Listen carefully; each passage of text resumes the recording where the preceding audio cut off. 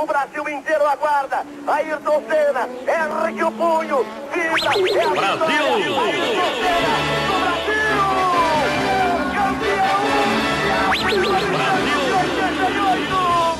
Como não se emocionar, né? Quando a gente lembra desse primeiro título que fez ele pela primeira vez campeão mundial é, como piloto da Fórmula 1, vem muita coisa na cabeça da gente e, na minha opinião, foi uma das corridas mais incríveis é, da carreira dele. Eu lembro que quando eu assisti essa corrida pela primeira vez, é, o carro dele deu uma travada ali na largada, né? E só ali ele já perdeu 16 posições. Todos aqueles segundos que ele perdeu ali naquela largada, é, cada milésimo conta numa corrida de Fórmula 1. E só um piloto realmente muito bom é, conseguiria fazer o que ele fez, que foi ultrapassar um a um dessas, dessas 16 posições e chegar vencedor.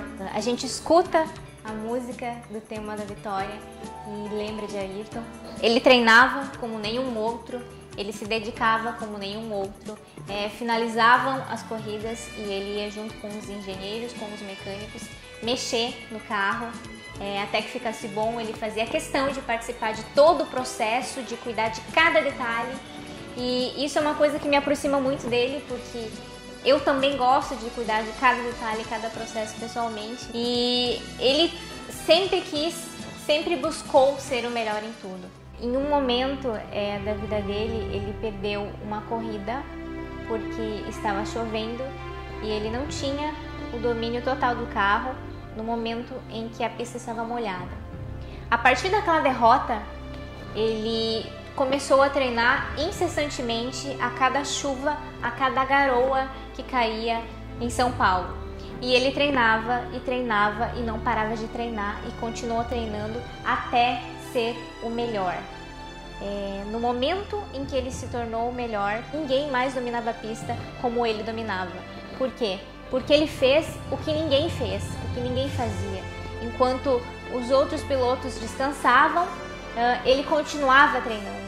Ele treinava o que precisava treinar, que todo mundo treinava, e treinava além, e além, e além. E o que ele fez? Ele foi o melhor, ele se dedicou para ser o melhor e, consequentemente, ele conseguiu ser o melhor. Então, essa é uma das histórias que me inspira muito e que realmente me faz também querer ser melhor a cada dia. E na minha carreira eu sabia que eu não podia deixar de em algum momento homenageá-lo, uma vez que ele é tão importante para mim e talvez tão importante para você também, através das minhas mãos, através do que eu sei fazer. Então eu criei uma obra para a gente comemorar os 30 anos desde a primeira vitória, o primeiro título mundial é, que ele conquistou. E a história dele é tão linda que ultrapassa gerações e muitas pessoas que nem mesmo eram nascidas na época dele são grandes fãs. E inclusive a maior prova disso sou eu, porque eu era um, um bebê na época em que ele infelizmente morreu. E hoje eu tô aqui. O bebê cresceu e está tendo o privilégio e a honra de poder homenagear o seu ídolo através das suas próprias mãos.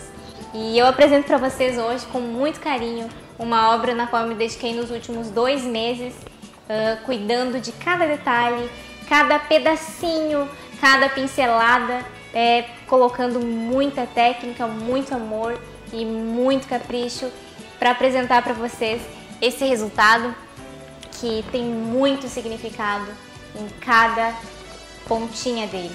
Cada pontinha dele foi pensado não só para representar é, coisas que eram importantes para o Ayrton, mas também para representar é, como nós brasileiros é, o enxergamos depois de tantos anos e como ele vai se perdurar aí por muitos anos e muitas gerações, é, sendo lembrado por nós. E o primeiro ponto que eu abordei quando eu estava criando essa obra era representá-lo da forma como ele vinha primeiramente na minha cabeça, e eu tenho certeza que na cabeça de milhões de brasileiros também, quando a gente fala Ayrton Senna, é inevitável a gente não lembrar dele em cima da sua McLaren.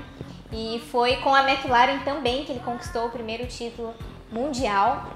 E obviamente não tinha outra forma de eu pintá-lo senão um carro em movimento, que era o que ele amava fazer e o que ele melhor sabia fazer por trás desse carro e para representar a luz que ele foi e que ele é para todos os brasileiros. É, eu trouxe luz por trás da McLaren e por trás do capacete dele, com um campo de fundo, um cenário tranquilo, sereno, mas com velocidade, que ele nos traz a velocidade. E em vários pontos a gente consegue notar que a velocidade se mostra na arte, ah, principalmente aqui nessa área dos pneus. E eu não poderia pintar o céu de outras cores senão verde e amarelo. Eu pensei muito no momento da criação dessa arte que não só a presença do Ayrton é, em seu carro de Fórmula 1 deveria ser é, o foco principal, marcante nessa obra, mas que também o Brasil devia ser o foco principal, como uma mensagem para mostrar que a gente esteve com ele e a gente sempre estará com ele, esteja ele onde estiver. E por isso, esse céu todo verde e amarelo para representar o meu carinho e admiração, é, a admiração e o carinho de você que está assistindo e o carinho e admiração do Brasil e do mundo inteiro. É com grande honra, com grande carinho que eu apresento para vocês essa obra, é, para o Brasil e para o mundo. E eu espero que você, assim como eu, sinta todo o amor e todo o carinho, todo o significado que ela tem e que agora vai perdurar aí por mais centenas de anos, não só no coração da gente, mas também iluminando alguma parede especial desse mundo. Muito obrigada.